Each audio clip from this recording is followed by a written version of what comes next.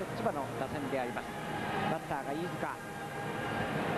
飯塚も佐藤。まあ、あるんで本当は DH やる選手じゃないんですけどね、ええ守守りが重要視される選手なんですけども、はい。あのーまあ、よくないみたいですね、打ち上げるってことはですね、はい。あの山井君のボールがですね威力あるのかもしれないですね。そうですね、はい、今のあのからもうストレート一本狙いでいいと思いますね。なるほど特急には提供が新日鉄キミスの補給選手2人が登場してまいります。川鉄千葉バッターボックスには平野が入っています。なんかをいじってこなくちゃいけないかもわかりません。そうですね。川鉄は、はい。バッターが平野。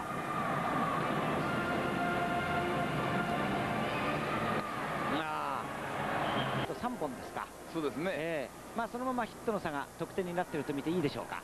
やはりあの1点を追っております。この回の攻撃。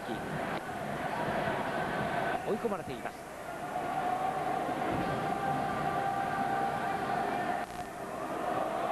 やります。全日本の候補選手になったこともあります。球威が非常にあるピッチャーです。低球力が課題です。投球6球目ボール外す。フルカウント。7球目。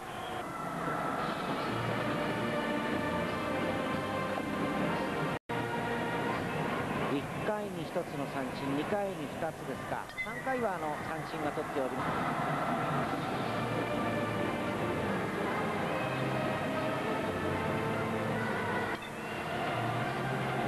昔はですね打力のチームだったんですね。はい。最近投手力が上向いてきたらこの打力がちょっと落ちてますね。ああそうですか。はい。結局7対6で大昭和選手が松下を破っております。続いて行われている今日の第2試合ですランナーがありません。打順が1番に戻りまして塩田これも